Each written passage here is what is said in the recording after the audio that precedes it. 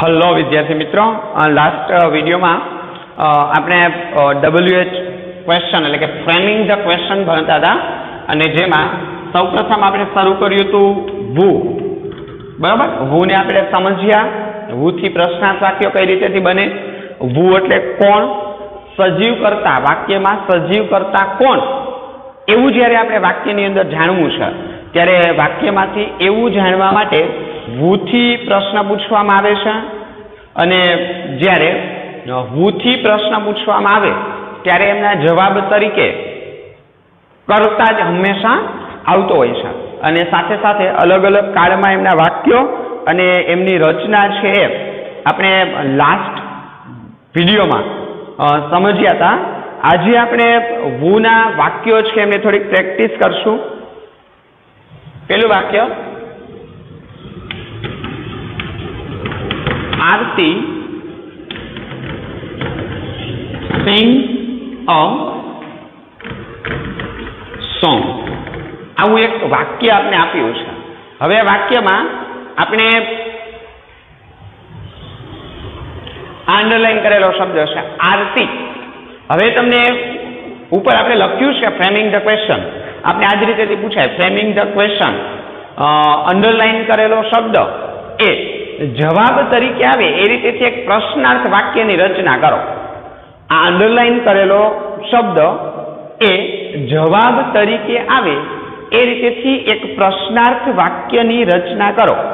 આપણે એવું કહ્યું હોય, તો હવે આ જે વાક્ય છે, એને આપણે જો આમાંનું આરતી એ આન્સર તરીકે આવે, એવા આપણે એક પ્રશ્નાર્થ વાક્યની રચના કરવી હોય, તો એમની રચના કરવા માટે પહેલાં તો આપણને આ વાક્ય આપેલું છે, એમાં જોઈ લેવાનું કે ભાઈ કોની નીચે અંડરલાઈન છે?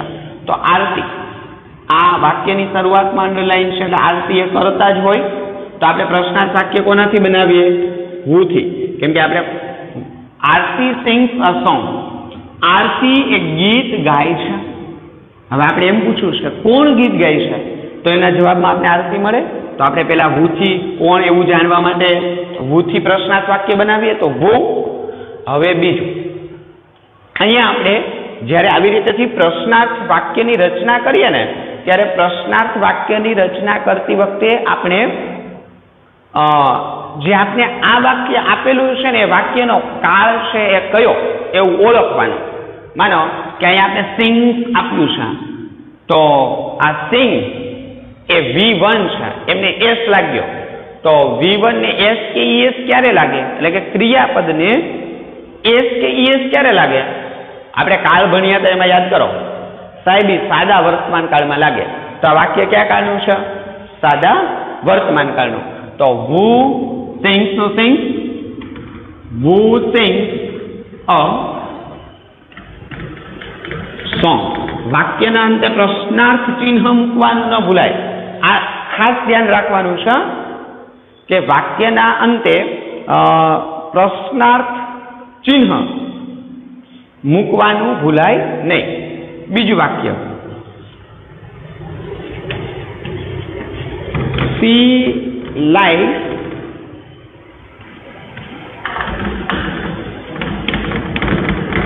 black pen.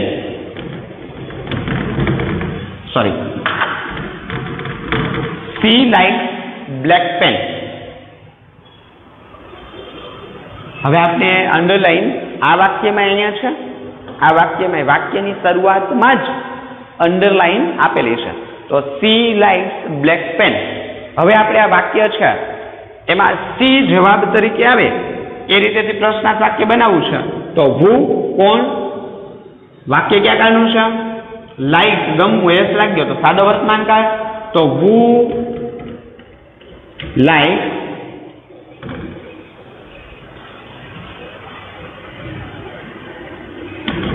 બ્લેક પેન વાક્ય પ્રશ્નાર્થ બરાબર ત્રીજું વાક્ય જોઈએ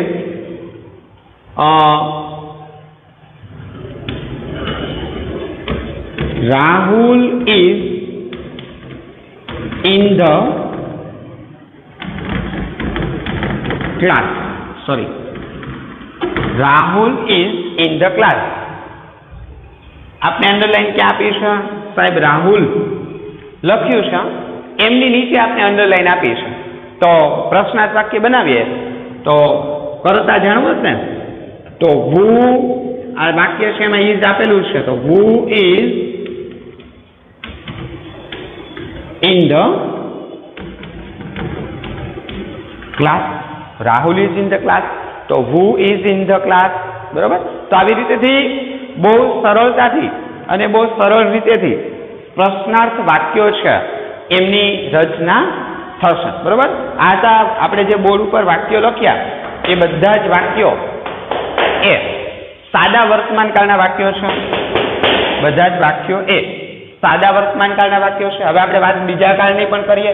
બીજા કાળના વાક્યો પણ જોઈએ કે એની રચના કઈ રીતેથી થશે? હુથી પ્રશ્ન પૂછીએ ત્યારે.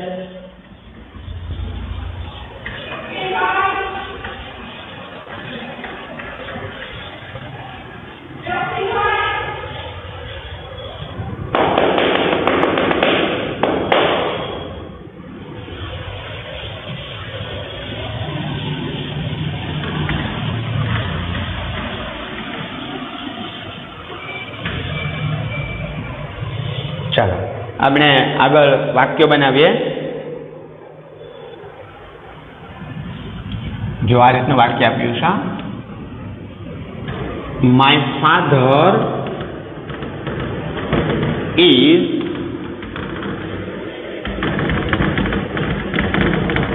reading my father is reading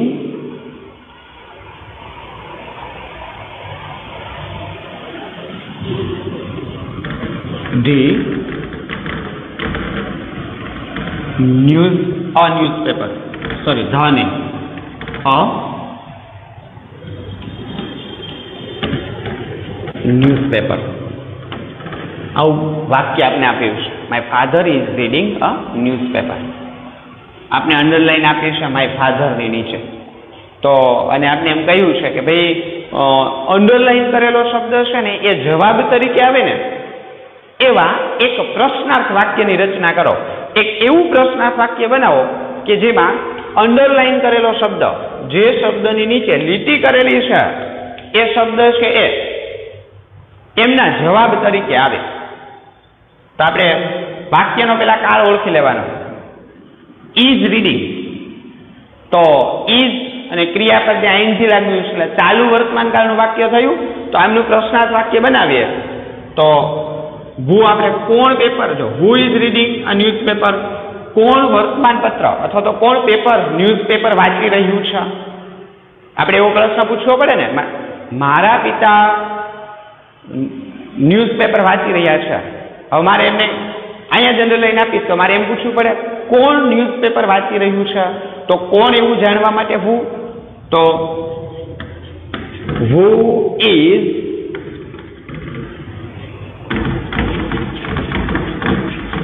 reading a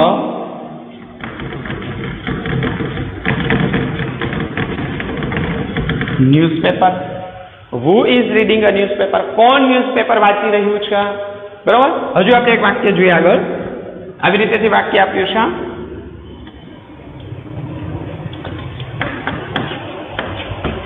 Kiran went to school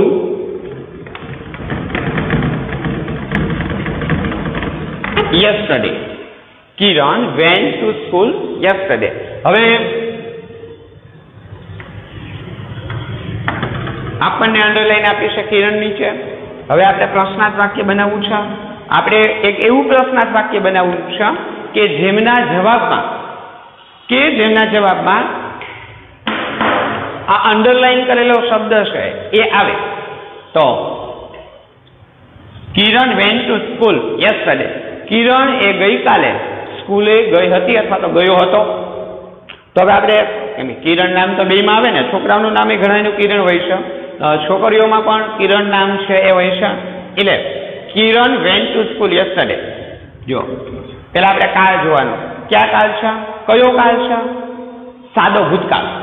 કેમ ખબર પડી? તો સાહેબ, જો, આ રીતે એમના રૂપો બને ને ગો વેન્ટ અને ગોન આ ત્રીજું રૂપ છે.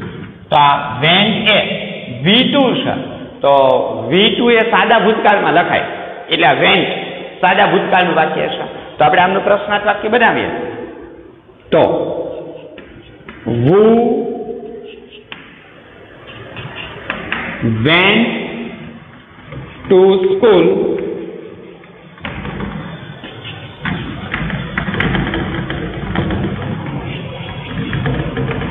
yesterday.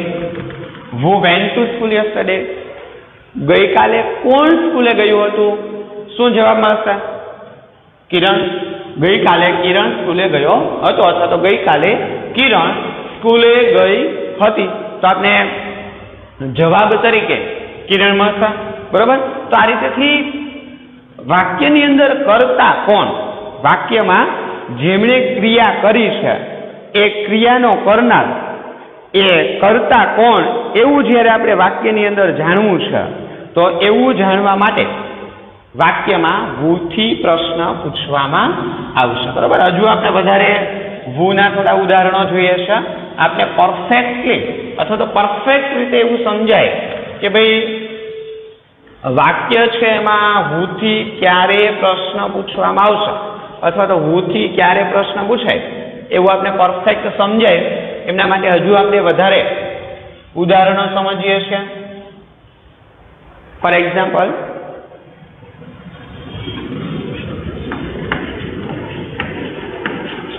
Karan will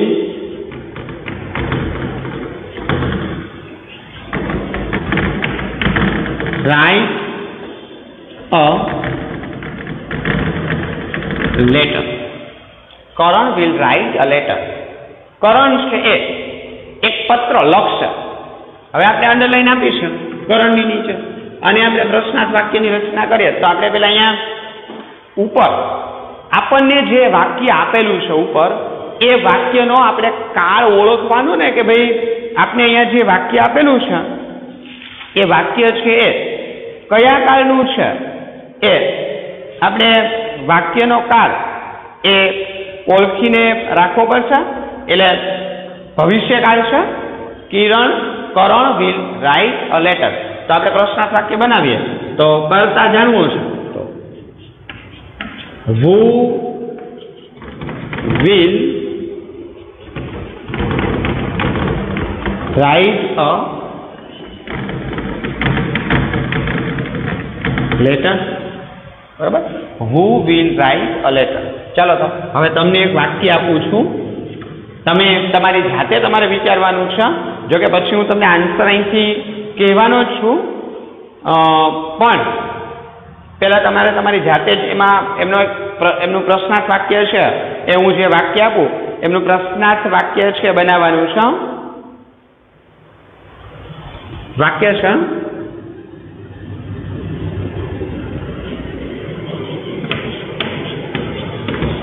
Mohan was playing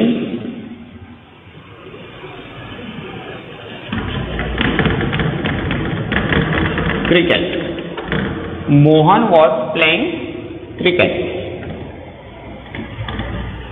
તમને અહીંયા અંડરલાઈન કરીને એક શબ્દ આપ્યો છે એ શબ્દ જવાબ તરીકે આવે ને અંડરલાઈન કરેલો શબ્દ એ જવાબ તરીકે આવે.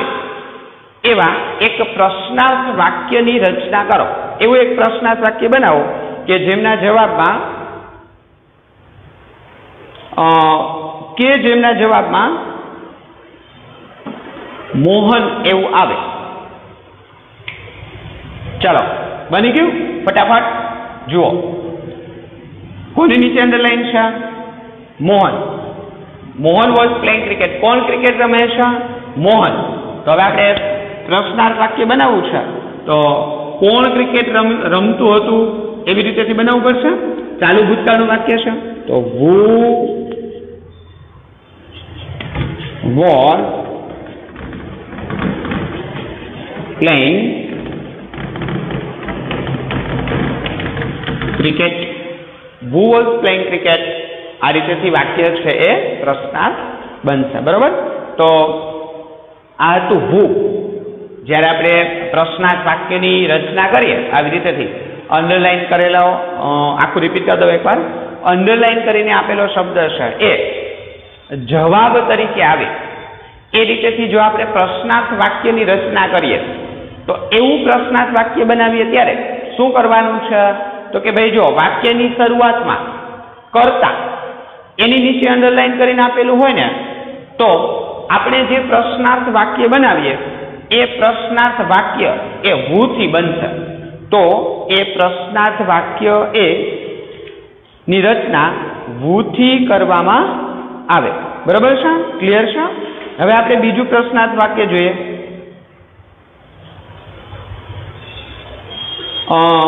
વીજ. બરાબર? આપણું પહેલું પ્રશ્નાર્થ વાક્ય પહેલો શબ્દ વુ. અહીંયા પૂર્ણ. હવે આપણે વાત કરીએ બીજા પ્રશ્નાર્થ શબ્દની.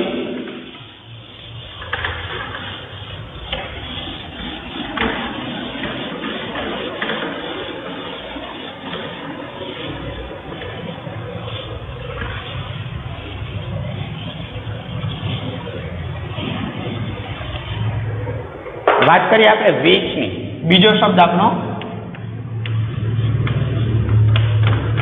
વીજ વીજનું ગુજરાતી થશે? કયું? અથવા તો કઈ. વાક્યનું ગુજરાતી કરીએ. અને એમના જે એ મુજબ જે અર્થ લેવાનો આપણે થતો હોય કઈ અથવા તો કયું. એવું વાક્યની અંદરથી આપણે જાણવું છે. તો વાક્યની અંદરથી એવું જાણવા માટે વીજથી પ્રશ્ન પૂછાય. જે રીતેથી આપણે હુથી પ્રશ્ન પૂછતા એ જ રીતેથી સેમ. વીજથી પ્રશ્ન પૂછવામાં આવશે. બરાબર? હવે જો વીજ પણ હુની જેમ જ કરતા દર્શાવે છે. પેલો પોઈન્ટ આપણો યાદ રાખવા જેવી બાબતો. વીજ પણ હુની જેમ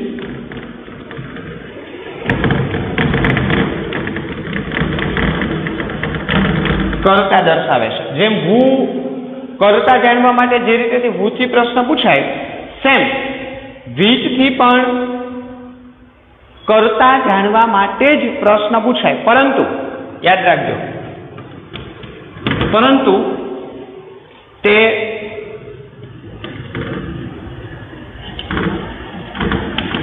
પશુ પક્ષી કે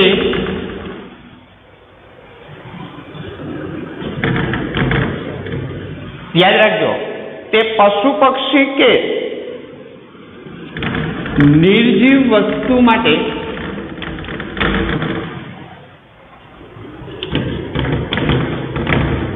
વપરાય છે. હવે હું, આપણે હુંમાં એવું શીખ્યા હતા કે ભાઈ વાક્યની અંદર કરતા કોણ? પણ સજીવ કરતા વિશે આપણે જ્યારે વાક્યની અંદરથી જાણવું હોય, તો સજીવ કરતા કોણ એવું જાણવા માટે? હુથી પ્રશ્ન પૂછવામાં આવે, પણ એ જ રીતેથી નિર્જીવ કરતા કોણ? બરાબર? માનો કે મારે એમ જાણવું છે કે ભાઈ જે કરતા આપ્યો છે, સજીવના બદલે કોઈ પશુ પક્ષી હોય અથવા તો નિર્જીવ હોય, એવું જાણવું છે. તો એવું જાણવા માટે વીજથી પ્રશ્ન પૂછાય. ત્યારબાદ, વાક્યની અંદર પસંદગી જાણવી છે આપણે. વાક્યમાં પસંદગી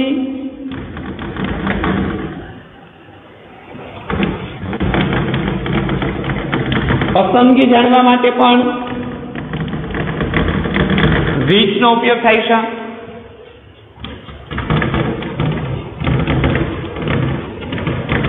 મારે વાક્યમાં પસંદગી જાણવી છે. મારે એમ કેવું છે, ભાઈ, મારી આગળ પાંચ પેન છે. અને મારે એમ કેવું છે કે, ભાઈ, આમાં તમારી પેન કઈ? તો વિચ ઇઝ યોર પેન બરોબર? Which colour do you like તમને કયો કલર ગમે છે? આવી રીતેથી વાક્યની અંદરથી જ્યારે મારે પસંદગી જાણવી છે કે પસંદગી જાણવા માટે વાક્યમાં જે પ્રશ્ન પૂછવામાં આવે, એ પ્રશ્ન વીજથી પૂછવામાં આવશે. એટલે વીજ એ પસંદગી જાણવા માટે પણ વીજ કન્જક્શન છે એમનો ઉપયોગ થાય છે એટલે કે પસંદગી જાણવી હોય ત્યારે પણ. હવે આમની રચના કઈ રીતની થશે? વાક્ય રચનાની વાત કરીએ, તો ભાઈ વીજથી બનતા પ્રશ્નાર્થ વાક્ય હોય, તો એમની રચના કઈ રીતની થાય? તો જો વાક્યની શરૂઆતમાં પેલા વીજ મુકાય, પેલા વાક્યની શરૂઆતમાં વીજ વીજ પછીથી તરત જ કર્મ મૂકવામાં આવશે. બરોબર? જે કંઈ આવતું હોય ત્યારબાદ સહાયક ક્રિયાપદ. હવે સહાયક ક્રિયાપદ કયું? તો હવે અહીંયા થોડું ભૂ કરતા અઘરું બનશે. તમે વાક્યનો કાળ ઓળખ્યો. એ વાક્યના કાળનું જે, માનો કે સાદા વર્તમાન કાળનું વાક્ય હોય તો એમના સહાયક ક્રિયાપદ ટુ બીના રૂપો ડૂડ જ. સાદો ભૂતકાળ હોય તો ડીડ આવશે. પછી ચાલુ વર્તમાન કાળ હોય તો એમ જ પણ ચાલુ ભૂતકાળ હોય તો વોઝ અને ભવિષ્યકાળ હોય તો સેલ અને વિલ. બરાબર? આ રીતેથી વાક્યના કાળ મુજબનું સહાયકારક ક્રિયાપદ પછીથી. કર્તા અને પછી ક્રિયાપદ. અને પછી જો વાક્યની અંદર અન્ય શબ્દો હોય, તો એ અન્ય શબ્દો અને વાક્યના અંતે પ્રશ્નાર્થ ચિહ્ન. હવે પસંદગી જાણવી હોય તો અથવા તો સજીવ કરતા કોણ? એવું જ્યારે આપણે વાક્યની અંદર જાણવું છે, તો વાક્યની અંદર એવું જાણવા માટે વીજથી પ્રશ્ન પૂછવામાં આવશે. કયું અથવા તો કઈ? ગુજરાતી યાદ રાખીએ તોય ચાલે. વાક્યમાં કયું અથવા તો કઈ? એવું આપણે જ્યારે જાણવું છે, તો એવું જાણવા માટે વાક્યમાં વીજથી પ્રશ્ન પૂછવામાં આવશે. થોડાક આપણે પહેલા આમના ઉદાહરણો જોઈએ. જુઓ. કઈ રીતેથી વીજ મૂકી અને વાક્ય છે એ? કઈ રીતેથી પ્રશ્નાર્થ બનશે? આપણે એમના થોડા એક્ઝામ્પલ આપણે એમના પેલા થોડા ઉદાહરણો જોઈએ કે વીજ મૂકી અને વાક્ય છે, એમને કઈ રીતેથી પ્રશ્નાર્થ બનાવવામાં આવશે? દાખલા તરીકે.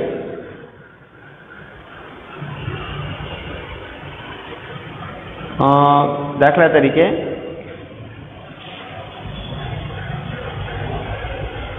પેલું વાક્ય ધીસ ઇઝ માય pen. આવું વાક્ય આપ્યું છે. ધીસ ઇઝ માય પેન તો હવે આપણે અંડરલાઈન આપીશ. હા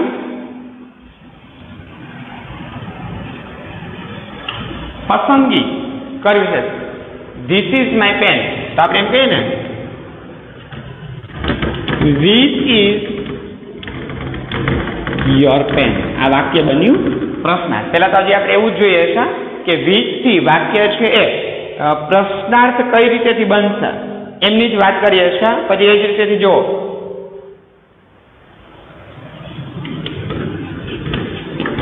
Which lesson do the teacher teach. જો which lesson do the teacher teach? શિક્ષક કયો પાઠ ભણાવે છે? કયું અથવા તો કયું? વિચ ઇઝ યોર પેન તમારી પેન કઈ છે? પસંદગી આપણે વાક્યની અંદરથી જ્યારે જાણવી છે.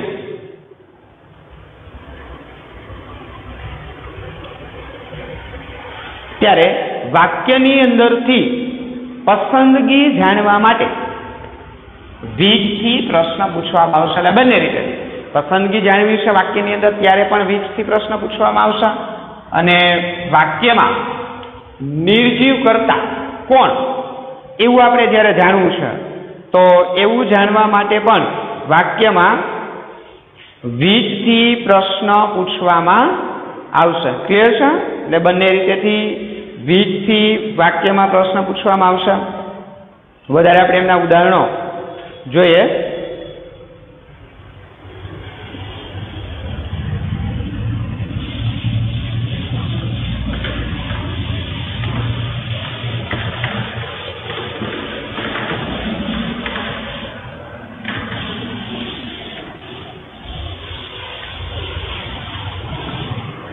જો ઉદાહરણો જોઈએ દાખલા તરીકે.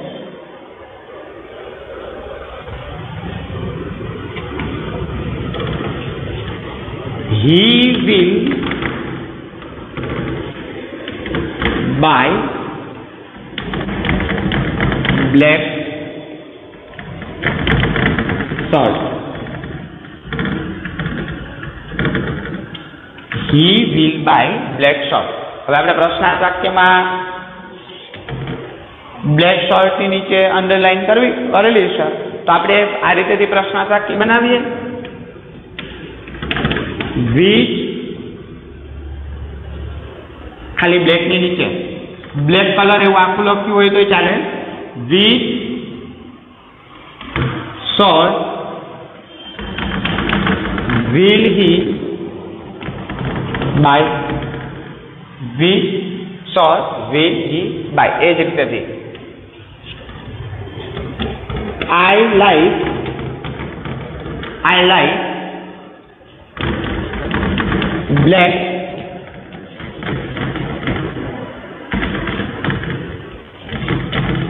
colour I like black colour તમને મને બ્લેક કલર ગમે છે. તો આપણે પ્રશ્નાર્થાકી બનાવીએ. તો which colour do you like which colour do you like આ રીતેથી પ્રશ્નાર્થ વાક્ય બનશે થી જ્યારે આપણે પ્રશ્નાર્થ વાક્ય બનાવીએ ત્યારે એ જ રીતેથી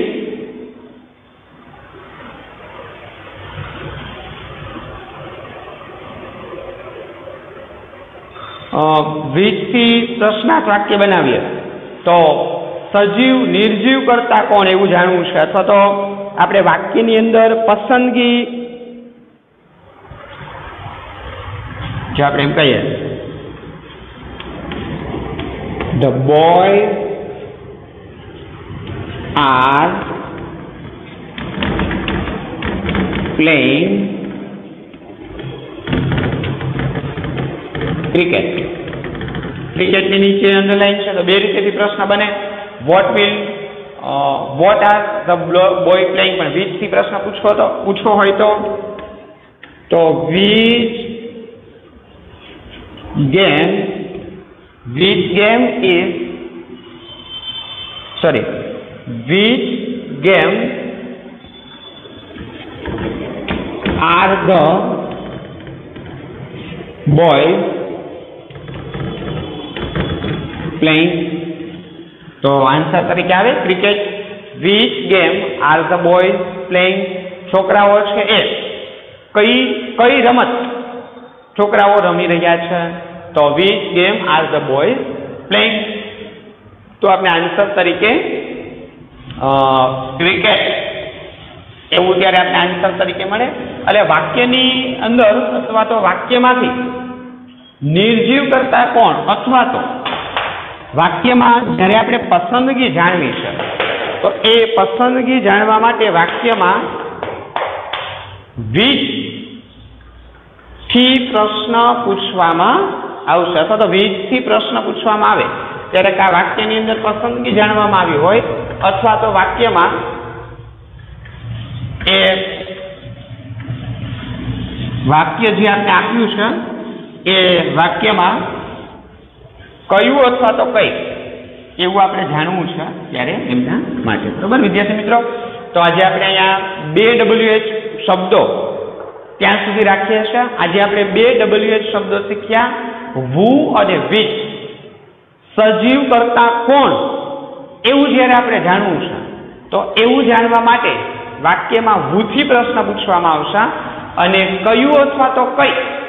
અથવા તો વાક્યની અંદર જો આપણે પસંદગી દર્શાવી તો વાક્યમાં પસંદગી દર્શાવવા માટે વીજથી પ્રશ્ન પૂછવામાં આવશે, બરાબર? આવતા લેક્ચરમાં એટલે કે આપણો જ્યારે નેક્સ્ટ હવે પછીનો લેક્ચર આવશે, ત્યારે આપણે આપણા નેક્સ્ટ લેક્ચરમાં વોટ અને where when why what when where why how many અને હાઉ મચ આટલા શબ્દો આપણે હજુ શીખવાના બાકી છે કે આ શબ્દોથી W H question framing the question એટલે કે ડબલ્યુએચ ક્વેશ્ચન કઈ રીતેથી બને? એ આપણે હવે પછીથી આપણે આવતા લેક્ચર્સથી એ ભણવાના છે, એટલે બે શબ્દો આપણે ભણ્યા છે, એ ભૂલાઈ ન જાય. એટલા માટે અમે સતત રિપીટ કરતા રહેજો, સતત જોતા રહેજો, અને આપણે લાસ્ટમાં છેલ્લો પોઈન્ટ ભણીએ છીએ ને, વીસ. એ થોડું અટપટું છે, વીસે એટલે એમને થોડું વધારે સમજવાનો પ્રયત્ન કરજો. ખાસ કરીને પસંદગી જાણવી હોય ને વ્યક્તિની, તો પસંદગી જાણવા માટે વીજનો ઉપયોગ થશે. બરાબર? ઓકે